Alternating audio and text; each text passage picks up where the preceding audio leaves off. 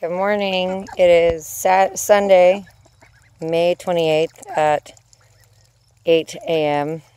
And I just finished giving the ducks, the ducklings, their little water bath. I don't think I got a video at all yesterday of them out and about, but ducklings love water.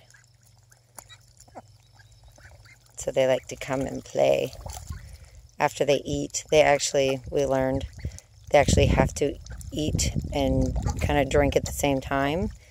So you have to provide them with plenty of water. They love making a nice big mess.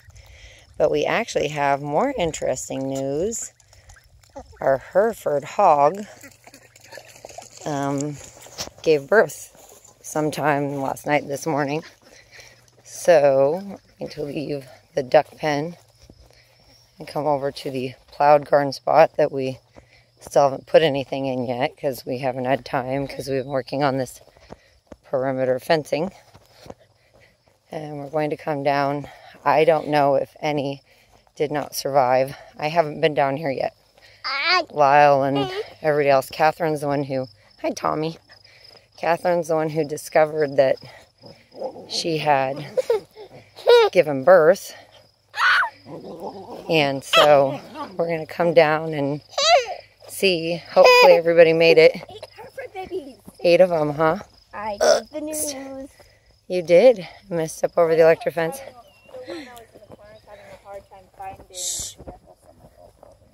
Good. Okay, we're going to come take a peek at our proud first time mama.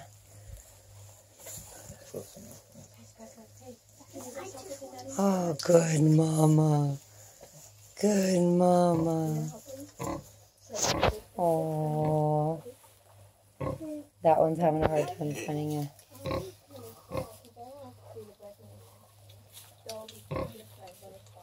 Are you getting that somebody?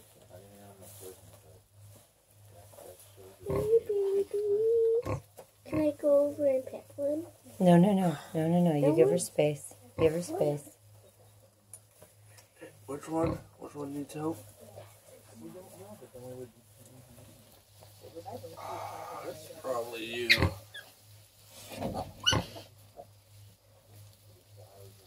Don't make them squiggle too much, Michael. So the kids said they haven't found any dead ones yet. We've got to put up some electric fencing around here. We want to isolate Mama from Any other pigs? The other pigs. There you go. There's our first, our first, I don't know if you call them a litter. Mommy. They look fairly new. They're still kind of struggling all over the place. What's that on him? What's That's the that? umbilical cord, and I don't know. We're gonna have to read about. I think it's supposed to have detached, but What? It just detached. There's light brown ones, and then there's. Oh shit, dark he's red trying to go ones. under. come back to the group, buddy. I think he's full. Uh, they kind of look like they have the kune kune snout, but I don't know. You need to go eat, little guy. I think he is full. He's had a lot. Well, he's the biggest. The one that's over here hiding. Uh, yeah. Looks like, or this one might be. We woke Michael up out of a dead sleep to bring him down here because he's been the most excited Who, about the no Michael about the babies. You've been you've been almost excited. You guys have been checking her like every day.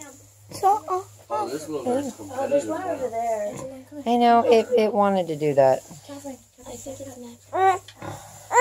So all right, that's that. Congratulations, Olivia, our first birth on the homestead. Anybody have any comments? They're so cute. Yes. They also got fluffies. Oh, Olivia looks so tired though. I know. I think she's worn out. So, Dad, what are we going to do about the one with the umbilical? We think maybe that hog is pregnant. We'll just have to see. That's Molly. All right. He's fine. He did that earlier. I think he's just. He's been You guys have anything to say? One that's getting trampled. Oh no. Wait, where? The one, one? yeah, no, under. No, that's a that's, That's um, a a leg. Oh, that's foot. like, oh gosh. Isabella, my little panicking anxiety child. it's not crowded. Yeah. All right, guys. The bell call.